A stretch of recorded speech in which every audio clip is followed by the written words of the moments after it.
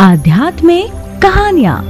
नमस्कार दोस्तों, स्वागत है आप सभी का एक बार फिर से आपके अपने YouTube चैनल आध्यात्मिक कहानियों में। दोस्तों, आज की कहानी का शीर्षक है विवाह पूर्व की औपचारिकताएँ। जी हाँ ये है रामायण से। चलिए शुरू करते हैं। महाराज जनक के कनिष्ठ भ्राता, कुंश ध्वज सांकाशपुरी में रहकर राज का प्रबंध किया करते थे। सीता के विवाह का समाचार पाकर महाराज वे सभी शांकपुरी के मिथिला आ गए। अपने अग्रज महाराज, जनक तथा गुरु सनातन जी को प्रणाम करने के पक्षात वे बोले, हे भ्राता अयोध्यापति पधार चुके हैं। इसलिए अब विवाह संबंधी कार्यों का शुभ आरंभ कर देना चाहिए इस पर जनक जी ने शतानंद जी से कहा, हे गुरुवर, भाई, कुछ ध्वज के कहने के अनुसार हमें शुभ रीतियों और विधि विधानों के अनुसार कार्य प्रारंभ करना चाहिए अंत, आप शीघ्र जाकर अयोध्यापति महाराज, दशरथ को राजकुमारों सहित आदर पूर्वक यहाँ पर लेवा लाएँ। शतानंद जी जनवासे में महाराज दशरथ के पास पहुँचे और उनसे आदर पूर्वक बोले, महाराज, मिथिला नरेश महाराज जनक अपने कनिष्ठ भ्राता, कुशध्वज, परिजनों एवं समस्त मंत्रियों के साथ आपके दर्शन के लिए उत्सुक हैं और अपने दरबार में आपकी प्रतीक्षा कर रहे हैं। इसलिए आप अपने मंत्रियों सहित पधार कर उन्हें कृतार्थ कीजिए। राजा जनक का आदेश पाकर राजा दशरथ, गुरु वशिष्ठ, मंत्रियों एवं राजकुमारों के साथ वहाँ पर पहुँचे, जहाँ राजा जनक उनकी प्रतीक्षा कर रहे थे। मिथिलापति ने खड़े होकर उन सब का स्वागत किया और उन्हें बैठने के लिए अथोचित स्थान प्रदान किया। जब सब अपने अपने स्थानों पर विराजमान हो गए तो इच्छवाकु वंश के गुरु वशिष्ठ जी ने राजकुमार का गोत्र पढ़ना प्रारंभ किया, जो कि इस प्रकार है। आदि रूप स्वयं भू ब्रह्मा जी से मरीचि का जन्म हुआ। मरीचि के पुत्र कश्यप हुए। कश्यप के विवस्वान और विवस्वान ने वैश्वंत मनु हुए। वेवस्वंत मनु के पुत्र इच्छवाकु हुए। इच्छवाकु ने अयोध्या को अपनी राजधानी बनाया और इस प्रकार इच्छवाकु कुल की स्थापना की गई। इच्छवाकु के पुत्र कुची हुए। कुची के पुत्र का नाम विकुची था। विकुची के पुत्र वाण और वाण के पुत्र अरण्य हुए। अनर्ण्य ने पृथु और पृथु से त्रिशंकु का जन्म हुआ। त्रिशंकु के पुत्र धुंधुकुमार हुए। धुंधुकुमार के पुत्र का नाम युवनाश्र था। युवनाथ के पुत्र मंधाता हुए और मंधाता से सुधंदित का जन्म हुआ। सुसंधि के दो पुत्र हुए ध्रुव संधि एवं प्रसे नजित ध्रुव संधि के पुत्र भरत हुए। भरत के पुत्र असीम हुए और असीम के पुत्र सगर हुए। सगर के पुत्र का नाम असमंज था। असमंज के पुत्र अंशुमान तथा अंशुमान के पुत्र दिलीप हुए। दिलीप के पुत्र भागीरथ हुए। इन्हीं भागीरथ ने अपने तपोबल से गंगा को पृथ्वी पर लाया था। भागीरथ के पुत्र कुकृत और ककृत के पुत्र रघु हुए।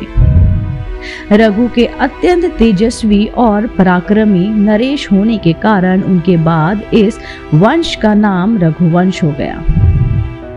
रघु के पुत्र प्रवर्त हुए जो एक शाप के कारण राक्षस हो गए थे। इनका दूसरा नाम कलमाशपात था। ब्रह्मवती में पुत्र शखण और शखण के पुत्र सुदर्शन हुए। सुदर्शन के पुत्र का नाम अग्निवर्ण था। अग्निवर्ण के पुत्र शीघ्र और अशीघ्र के पुत्र मरु हुए। मरु के पुत्र, पशु शुक्र और पशु शुक्र के पुत्र अम्बरीश हुए। अम्बरीश के पुत्र का नाम नहुष था। नहुष के पुत्र, ययाति और ययाति के पुत्र नाभाग हुए। नाभाग के पुत्र का नाम अज था। अज के पुत्र दर्शन हुए। यानी कि दशरथ। और दशरथ के चार पुत्र रामचंद्र, भरत, लक्ष्मण तथा शत्रुघ्न हुए। इचवाकु कुल का वर्णन करने के पश्चात वशिष्ठ जी का कहना है, हे राजन, अब आप भी अपने वंश परंपरा का परिचय दीजिए, क्योंकि विवाह जैसे मांगलिक अवसरों पर दोनों ही कुल अपने अपने वंश का परिचय देते हैं।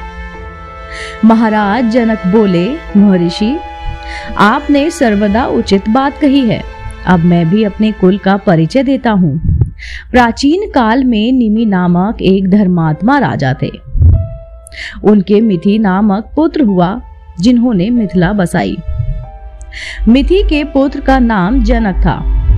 उन्हीं के नाम पर मिथिला के राजा लोग जनक कहलाने लगे।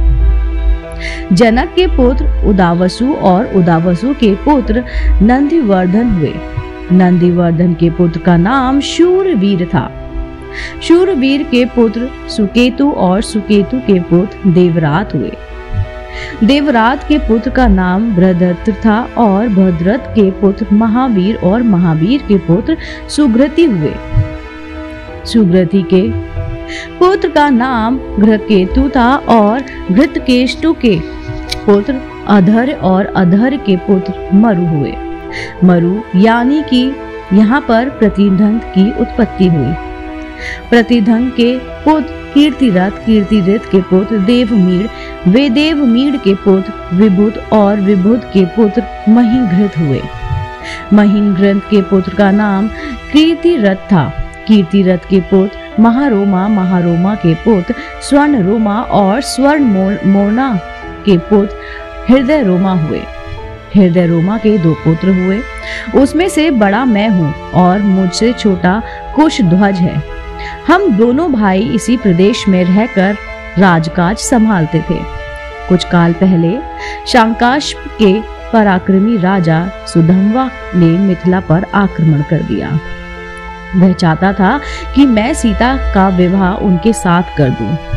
मैंने उनकी मांग पूरी नहीं की, इसलिए उनके साथ मेरा युद्ध हुआ जिसमें सुधवा मेरे हाथ से मारा गया तब से मेरा नाम कनिष्ठ भ्राता, कुश ध्वज, सकायश पर शासन करता है और मैं मिथिला पर मैं अपनी बड़ी पुत्री सीता का विवाह राजकुमार रामचंद्र के साथ और छोटी पुत्री उर्मिला का विवाह उनके कनिष्ठ भ्राता लक्ष्मण के साथ करना चाहता हूँ। मैं तीन बार इस बात को दोहराकर अपनी दोनों कन्याओं, आपको वधु के रूप में समर्पित करता हूँ। फिर वे राजा दशरथ से कहने लगे, हे नृपश्रेष्ठ, अब आप इसमें गौदान कराकर नंदी मुख श्राद्ध का कार्य संपन्न कीजिए। इसके पश्चात लोग प्रचलित प्रसिद्धियों पर अनुसार विवाह का कार्य आरंभ कीजिए। ये अवसर सर्वदा उपयुक्त एवं कल्याणकारी है। आज मघा नक्षत्र है। आज से तीसरे दिन फाल्गुनी नक्षत्र होगा। इससे अधिक उपयुक्त समय विवाह के लिए दूसरा हो ही नहीं सकता। आप इन दोनों भाइयों के अभ्युदय के लिए गौ, भूमि, स्वर्ण, तिल आदि का दान कीजिए। राजा जनक के कथन समाप्त होने पर महामुनि विश्वामित्र बोले, हे राजन, आप और राजा दशरथ दोनों के ही कुल, पूर्णता, धर्म, परायण, कीर्ति युक्त एवं समान है। अतः इन दोनों कुल में विवाह संपन्न सर्वदा उपयुक्त है। सीता और उर्मिला भी राम और लक्ष्मण के सर्वदा उपयुक्त है। आपके कनिष्ठ भ्राता, कुश ध्वज भी आपकी ही भांति धर्मपरायण एवं प्रतिभा संपन्न है। इनकी भी दो रूपवती सुंदर एवं विवाह योग कन्याएँ हैं। हे नरश्रेष्ठ, मैं चाहता हूँ कि विवाह महाराज दशरथ के दो योग और पराक्रमी पुत्र भरत और शत्रुघ्न के साथ हो जाए। विश्वामित्र की बात सुनकर जनक बोले, हे मुनिवर, आपके इस आदेश को मैं स्वीकारते हुए मैं अपने कुल को धन्य समझता हूँ। आप भरत और शत्रुघ्न को आज्ञा दीजिए कि वे कुश ध्वज की दोनों कन्याएँ, यानी कि मांडवी एवं श्रुत कीर्ति को अपनी अपनी पत्नी के रूप में स्वीकार कर लें। इसके बाद मिथिला नरेश से अनुमति लेकर राजा दशरथ, वशिष्ठ जी और विश्वामित्र जी के विश्वामित्र जी के साथ जनवासे में लौट गए। दूसरे दिन चारों राजकुमार ने याचकों को एक एक लाख स्वर्ण मंडित सिंखों वाले गोय दान दी और भी बहुत सारा धन, आभूषण, रत्न आदि को उनको वहाँ पर दान दे दिया।